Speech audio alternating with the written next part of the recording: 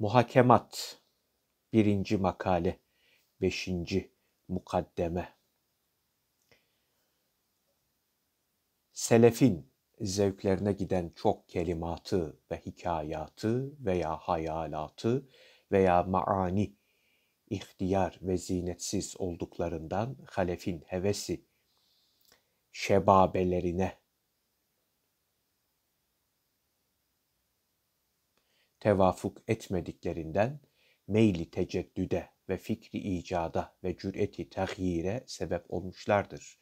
Bu kaide lügatta gibi hayalat ve maani ve hikayatta dahi cereyan eder. Öyleyse her şeye zahire göre hükmetmemek gerektir. Muhakkikin şe'ni gavvas olmak, zamanın tesiratından tecerrüt etmek, mazinin a'makına girmek, mantığın terazisiyle tartmak ve her şeyin menbaını bulmaktır. Sahabe, tabi'in ve tebe-i tabi'in döneminde kullanılan ve zevk edilen kelimeler, hikayeler, hayaller ve manalar daha sonra gelen nesillerce eski ve sade görüldükleri için bir de güncel değiller bahanesiyle değiştirilmeye ve saptırılmaya çalışılmış.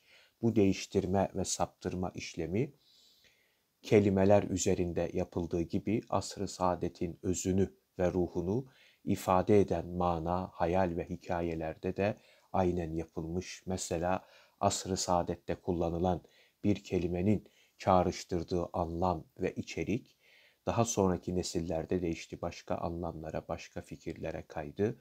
Doğal olarak kelimeler, hikaye ve hayaller anlam göçü yaşadı. Bu durumda selefi iyi ve sağlıklı anlayabilmek için içinde yaşadığımız çağın anlayışından ve kültürel kodlarından sıyrılmamız gerekiyor. Çünkü kelimeler ve hikayeler eski zamanın ruhunu tam yansıtmıyor.